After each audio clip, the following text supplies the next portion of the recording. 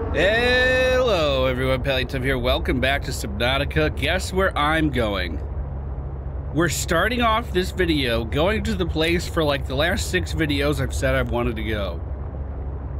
I started this trip before the video started, so I couldn't be distracted by anything else. We are going to this place. Oh, this is kind of cool. As I was going this way, I just kind of dipped down there was like a crack in the seafloor. And there's some pretty scary predators above us. But by going in here, it kind of looks like we avoid them. Uh, did this sea monkey just try to bring me copper? Thanks, bud.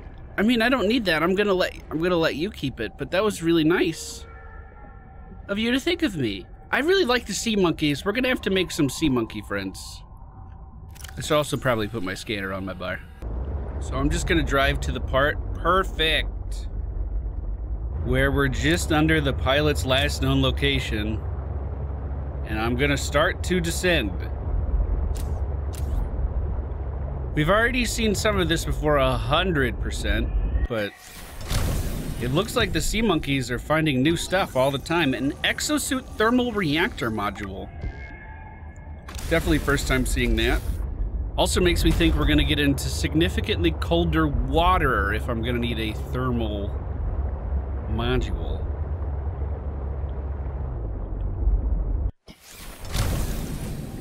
A prawn suit grappling arm! Where did you guys find this? One more and we can make that. I mean, I can't even make a prawn suit yet, but... Nice, dude. I'm gonna go up a little bit. Because there were very clear paths down last time, like to a significantly deeper area. And I'm not seeing them while I'm hanging out with the sea monkeys. Yeah, what about this? What about this? This looks better. We have a gel sack attached to the side of the wall.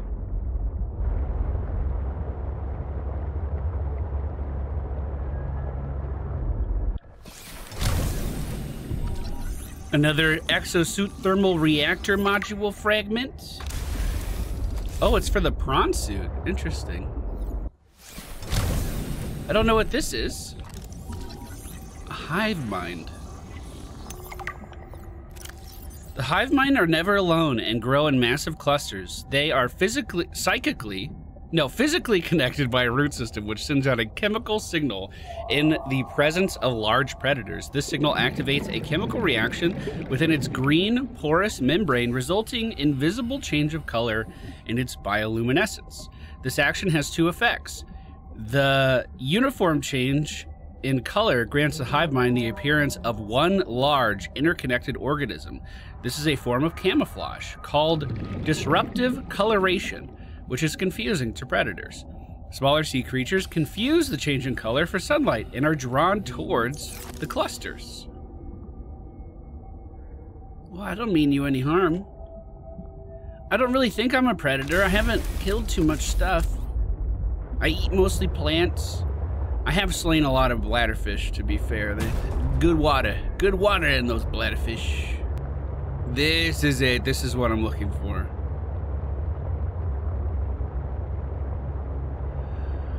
Okay.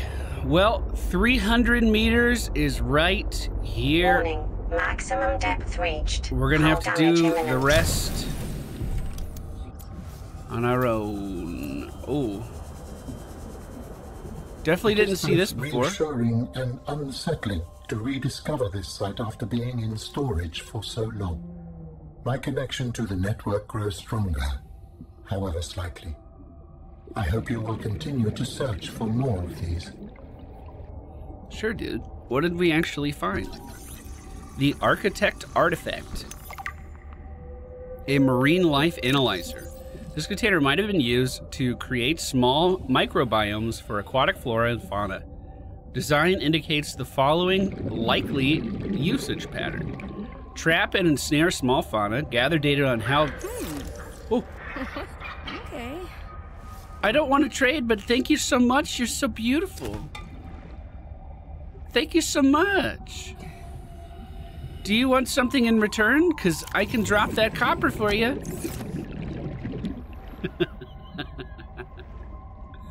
he scared me. Yo. Oh, nickel! First time seeing nickel. It was worth it. It was worth it to come here. Oh, I'm starting to notice it in more places too. We have a new mineral deposit as well. Uh, gold and titanium. I am out of gold. Yes! This is fantastic news. Warning. 30 seconds of oxygen remaining. Holy fucking shit, is that a ruby? Uh, with rubies, we can make aerogel, which means we can make a, um... Oh my god, you're bringing me rubies! I love you! You're so beautiful. Oh, gonna drown. Oh, I'm gonna drown. Oxygen. Uh, six, th three, zero. It's okay. Hey, this might be a good time to use the mineral detector. Uh, I would like you to find nickel. Oh my god, thank you. thank you so much. I love you.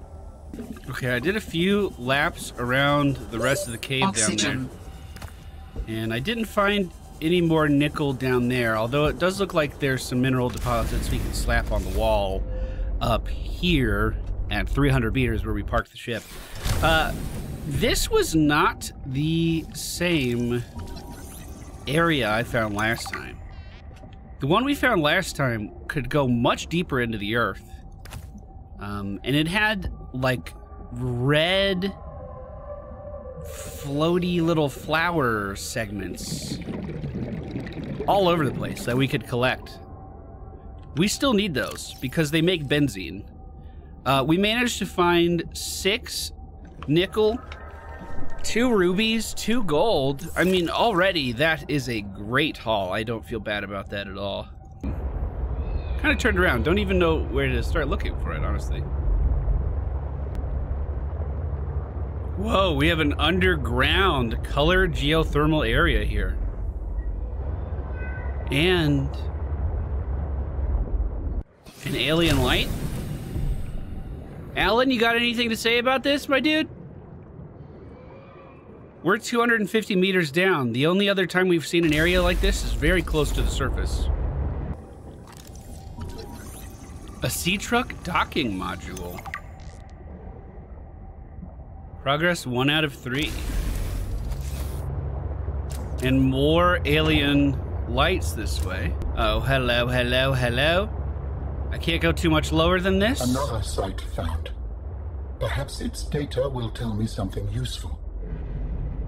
Perhaps. I have collected enough data to extrapolate the location of a component necessary to assemble my body. I will provide a signal. Great. Thank Signal you location for doing that. uploaded to PDA. What do we have here? We had an ion cube just chilling over there. Still don't. I mean, in the previous game, we could make ion batteries with it, but that was a whole thing. That was a whole process. I don't think I'm able to do anything with them yet. Uh. An architect artifact. A fossil excavator. New technology acquired. New blueprint synthesize a recyclotron. This cave goes on for quite a ways. Hey, what's up? How do humans function with such a fallible and inferior body? Excuse you? My body is anything but inferior. I work hard for my body to be able to do what it depth does. reached. Hull Yes, but its imminent. overall form is not ideal. For example, consider its use of primitive ball and socket joints. Is there anything you don't find primitive? Humans bartered with evolution to get more brain wrinkles and opposable thumbs. It is true the opposable thumb ah. is excellent, but all corporeal forms are temporary. The ability to be reborn when a body breaks down is paramount. My body is my own and I cherish it. It grows with me. Humans have one life. We plant trees we can never experience the shade of. We build for the next generation. Noble, but again truly inefficient. You are incredibly frustrating, you know that? I hope to see the forms of my people again. Look at this shit. We're 455 meters down. I'm not going to be able to stay down here long. And I don't know if I even want to stay down here long. It is incredibly cloudy. But there's large crystal formations down here.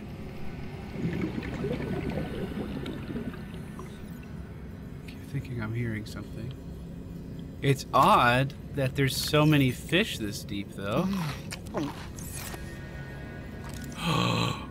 Please don't tell me that's kyanite. Ah! Okay. Well. Let's see if we can stay down here. Oh, hello, little rock grub. I'm gonna take you with me. I'm gonna bring you home. You'll be good friends with Hoopfish. Another torpedo arm. I mean, it makes sense that these prawn suit things are here. That's a new fish up ahead. Proceed with caution. A Leviathan class creature is near. Go! Please! I'm trying to swim in between crystals. Holy fucking shit, that was a huge fish and it just came out of nowhere.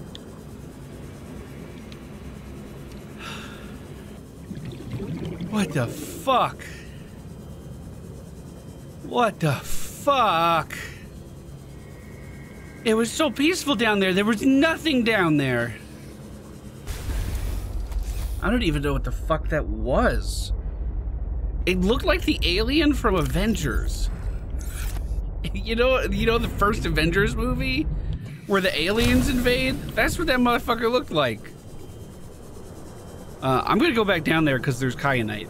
Uh, I'm gonna stay the fuck away from that side where that creature was. And hopefully I don't regret that decision, which is why we're gonna save. So there's lithium down here. There seems to be some pretty sparse kyanite down here, which glows blue. It seems very sparse. Uh,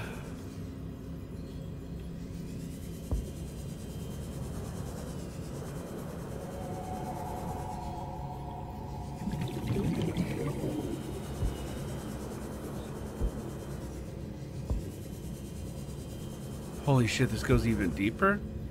Oh, hey, little buddy. I'm not here to bother you. I'm heading back towards it. Oh my god. The bottom. Wow. The bottom of that fucking thing opens up like the gaping dragon. You know what? I'm good. Oh, but there's kyanite right there. Please, just stay low, stay low, stay low. Warning. 30 seconds of oxygen remaining. Okay, I'm gonna get out of here. Gotta get out of here. That's a great find and everything, but this wasn't what I was looking for. Which means there's... Whoa, don't go over that. It's going to explode. Okay, great. Which means there's a lot of biodiversity down here. That's the deepest we've ever gone. The rebreather's certainly helping out with that, allowing us to actually get down there. Let's make sure I refill both tanks with air. I like our double tank diving method. I think that's smart. That's based on some real world techniques. I don't know if that's a common strategy that people do in Subnautica, in Subnautica games, but um, it feels cool to bring some of my diving experience actually into the game. My very limited little diving experience. Oh, hello. Is this the last docking bay?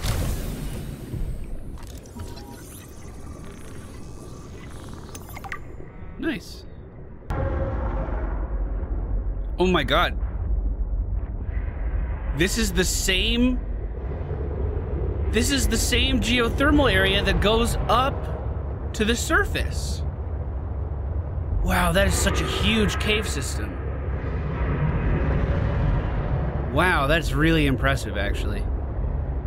I went back towards the pilot's last known location. You came within range of data that might help with the construction of a new storage medium. You must continue to investigate. Maximum depth reached. Um, this looks like it leads down to the body cache.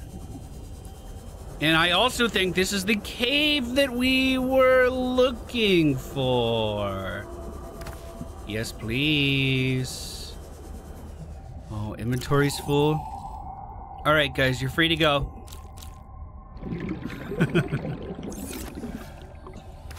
Fuck yes. I strongly sense my people's technology nearby. A body component is near. Okay, I'll go check it out for you, my dude. I'll at least try to. I don't know what kind of scary shit's down here. Oh, we need one of these mushrooms as well. Let's make sure we bring one of these back. Young cotton. I still don't know how to say that A word, so I'm going to stop saying it. So he's 138 meters down from where I am right now. I'm not seeing any obvious paths to, to go to descend. More nickel in here. This is. Oh! oh, another one of those fucking plants! Get off me!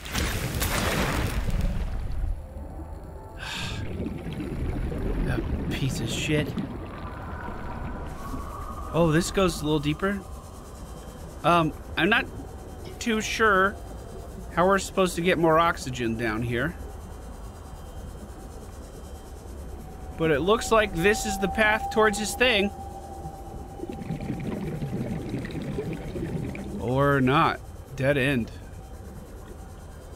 Oh. Warning.